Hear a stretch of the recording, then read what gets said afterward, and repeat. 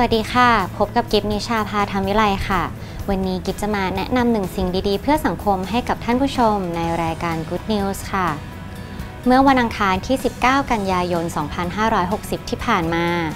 สำนักงานส่งเสริมการจัดประชุมและนิทรรศการ องค์การมหาชนหรือ t c e p ได้เปิดโครงการก้าวตามรอยพ่อ ประชุมเมืองไทย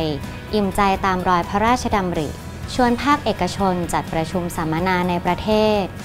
ผ่านโครงการอันเนื่องมาจากพระราชดำริ ภายใต้โมเดล 3 พอกระตุ้นทุกภาคส่วนผนึกพลังผลักดันค่ะ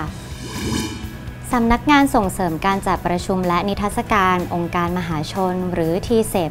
ร่วมมือกับสมาคมโฆษณาแห่งประเทศไทย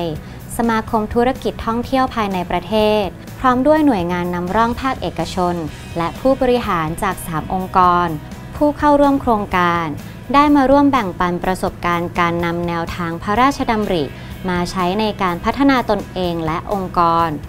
รวมทั้งยังได้ตัวแทนจากกลุ่มคนรุ่นใหม่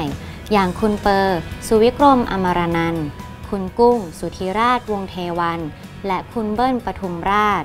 มาแบ่งปันมุมมองการประยุกต์ใช้หลัก3พอในการดำเนินชีวิตอีกด้วยค่ะ สำหรับ Good News หนึ่งสิ่งดีๆ เพื่อสังคมในคราวหน้าจะเป็นเรื่องอะไรนั้น กลับมาติดตามชมกันนะคะ สำหรับวันนี้กิฟขอตัวลาไปก่อน สวัสดีค่ะ